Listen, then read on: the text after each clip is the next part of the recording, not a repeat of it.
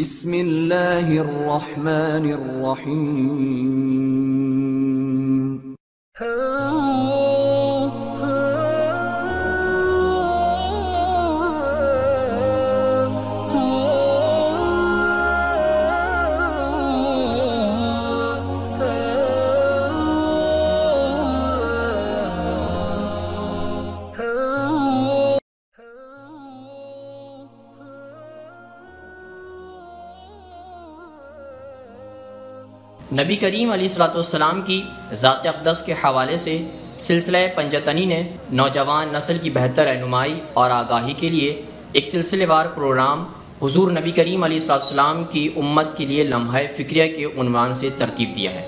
आज इस सिलसिले की अगली किस्त का हम आगाज़ करते हैं। और अभी अर्रहाई ने हज़रत इमाम हुसैन रज़ी अल्लाह के साथ मिलकर आगे से आगे मुखालिफिन पर हमले किए और शदीद कताल किया और बहुत से दुश्मनों को कत्ल किया। वो जिस तरफ़ जा रहे थे, अमर बिन साद के लश्कर को गाजर मूली की तरह काट रहे थे। ये सब देखकर शिमर ने जंगी उसूलों से इनहराफ किया और चारों तरफ़ से हज़रत इमाम हुसैन रज़ी अल्लाह और उनके रुफाका पर हल्ला बोल दिया, जिसका हज़रत इमाम हुसैन रज़ी अल्लाह और उनके रुफाका ने बड़ी बहादुरी के साथ मुकाबला किया। वो कूफियों के लश्कर पर जिस तरफ़ से भी हमला करते मैदान साफ़ हो जाता। ये देखते हुए अमर बिन साद ने जो ताज़ा कमक पाँच सौ घुड़ सवार मंगवाए थे। उनको मुकाबले पर खड़ा कर दिया। लेकिन हज़रत इमाम हुसैन रज़ी अल्लाह की रुफाका ने उनका भी नहायत बहादुरी के साथ मुकाबला किया और घोड़ों से उतर कर मैदान में पियादा पा आ गए। उस वक्त भी हुर ने उनका साथ दिया और उनकी ढाल बनकर दुश्मनों से सख्त कताल करता रहा।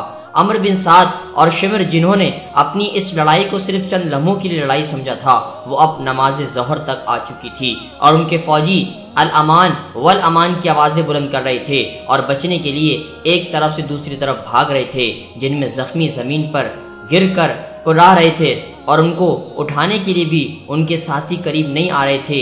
ये अमर बिन साद के लिए बहुत सबकी की बात थी कि सिर्फ़ मुट्ठी भर भूखे और प्यासे लोग उनके खाए पिए ताज़ा दम सिपाहियों को बड़ी बेजिगरी से लड़कर मार रहे थे। मोजिज दोस्तों, आज की गुफ्तु का अख्ताम हुआ।